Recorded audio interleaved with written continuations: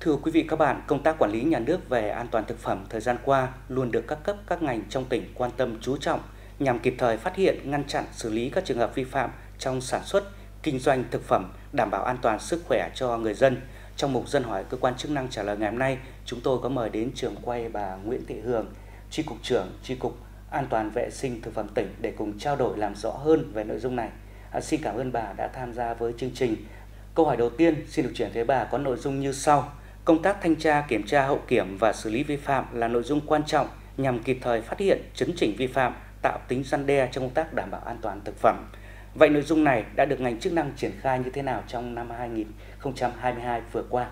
Năm 2022, toàn tỉnh thành lập được 347 đoàn thanh tra kiểm tra về an toàn thực phẩm à, và đã kiểm tra được 5.708 lượt cơ sở thực phẩm và phát hiện Ờ, các cơ sở vi phạm và xử lý bằng hình thức phạt tiền là 271 cơ sở, với số tiền là ờ, gần 1 tỷ đồng. Thế thì so với năm 2021 ờ, thì số cơ sở xử lý vi phạm cũng cao hơn và số tiền xử phạt thì cao gần gấp đôi. Các cơ quan quản lý chức năng ngoài cái hình thức phạt tiền thì cũng đã có hình thức phạt bổ sung như là đình chỉ sản xuất và tiêu hủy những cái sản phẩm mà không đảm bảo chất lượng. Đoàn kiểm tra liên ngành của các ngành như y tế, nông nghiệp và công thương ấy thì cũng đã lấy các cái mẫu thực phẩm trên địa bàn để hậu kiểm cái đánh giá cái chất lượng. Ấy thì trong năm 2022 à, trên toàn tỉnh cũng đã lấy 161 mẫu à, thực phẩm để hậu kiểm chất lượng. Thế và kết quả là có 155 mẫu đạt và 6 mẫu không đạt chiếm tỷ lệ là 3,7% đấy thì cái này cũng đã được cơ quan quản lý chức năng cũng đã xử lý rất là nghiêm à, đồng thời là yêu cầu các cơ sở sản xuất kinh doanh là phải thu hồi sản phẩm tiêu hủy sản phẩm theo đúng quy định của nhà nước trong quá trình kiểm tra thanh tra thế thì chúng tôi cũng kết hợp với công tác tuyên truyền hướng dẫn cho cơ sở để tuân thủ thực hiện tốt các cái quy định của nhà nước về an toàn vệ sinh thực phẩm thì cơ bản các cái cơ sở cũng đã chấp hành khá tốt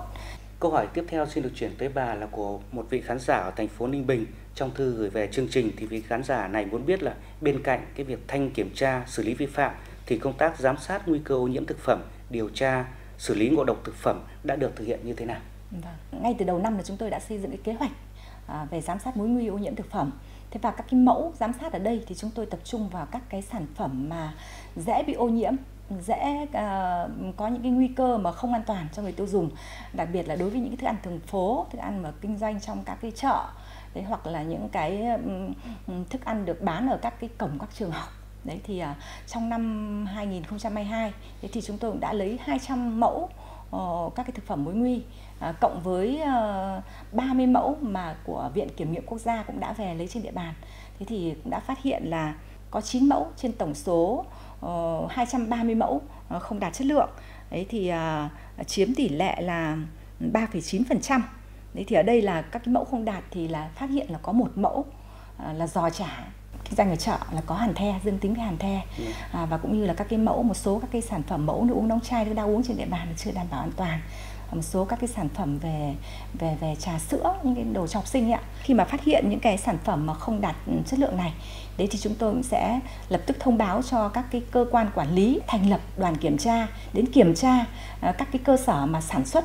ra những cái, những cái sản phẩm thực phẩm này thế và nếu phát hiện vi phạm thì sẽ là xử lý theo quy định. Đối với công tác điều tra xử lý ngộ độc ừ, an toàn thực phẩm, hàng năm là chúng tôi cũng phối hợp với các trung tâm y tế các huyện, thành phố triển khai các cái biện pháp phòng chống ngộ độc thực phẩm và cũng như là chúng tôi cũng xây dựng cái phương án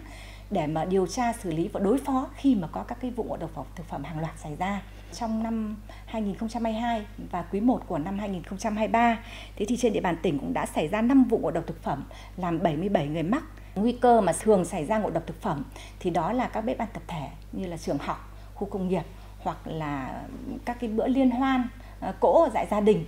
Đấy, thì cái này thì chúng tôi cũng ờ, chú trọng cái công tác mà tuyên truyền, phổ biến ờ, giáo dục đối với cộng đồng nhân dân, triển khai các cái biện pháp để phòng chống ngộ độc thực phẩm, ăn uống, lựa chọn, chế biến bảo quản thực phẩm, đảm bảo vệ sinh. Và đặc biệt là đối với các cái bếp ăn tập thể khu trường học và cũng như là khu công nghiệp thì phải đặc biệt là chú trọng cái công tác này. Thế thì khi mà xảy ra ngộ độc thực phẩm như vậy thì tri cục chúng tôi cũng lập tức uh, thành lập các cái đoàn điều tra đấy để điều tra uh, ngộ độc thực phẩm và tìm nguyên nhân gây ngộ độc thực phẩm. Thế thì nói chung là các cái vụ ngộ độc thực phẩm trên địa bàn Ninh Bình trong năm vừa qua thì cũng là các vụ nhỏ à, và số lượng người mắc ít và cũng như là các cái tình trạng của bệnh nhân thì không nặng và được điều trị kịp thời cho nên là cũng không có trường hợp nào tử vong do ngộ độc thực phẩm. Thưa bà, tháng hành động vì an toàn thực phẩm năm 2023 có chủ đề đảm bảo an ninh an toàn thực phẩm trong tình hình mới. Xin bà cho biết cụ thể hơn về nội hàm của chủ đề này và để tháng hành động vì an toàn thực phẩm đạt hiệu quả tích cực thì ngành chức năng đã tham mưu triển khai những giải pháp cụ thể như thế nào?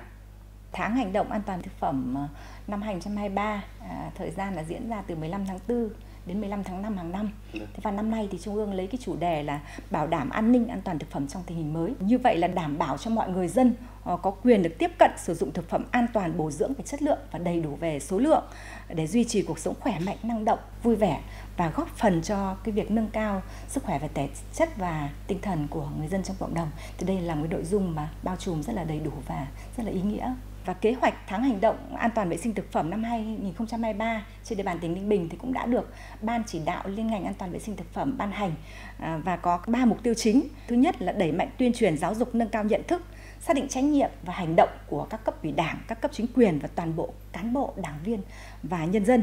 à, trong việc đảm bảo an ninh an toàn thực phẩm. Mục tiêu thứ hai là tăng cường công tác thanh tra, kiểm tra, giám sát công tác đảm bảo an ninh an toàn thực phẩm và kiên quyết đấu tranh với những cái vi phạm về an toàn vệ sinh thực phẩm và cũng như là xử lý vi phạm. Và cái nội dung thứ ba là nâng cao năng lực phòng ngừa, chủ động xử lý ngộ độc thực phẩm và các bệnh truyền qua thực phẩm, từ đó để giảm thiểu các cái ngộ độc thực phẩm cho người tiêu dùng. Thế thì để đạt được các cái mục tiêu đó đã đề ra thì ban chỉ đạo liên ngành an toàn thực phẩm đã chỉ đạo triển khai các cái chiến dịch truyền thông về an toàn thực phẩm dạ. để nâng cao cái kiến thức an toàn vệ sinh thực phẩm đối với uh, các uh, lãnh đạo quản lý, đối với người sản xuất kinh doanh thực phẩm và đối với người tiêu dùng. Thành lập 3 đoàn kiểm tra liên ngành của tỉnh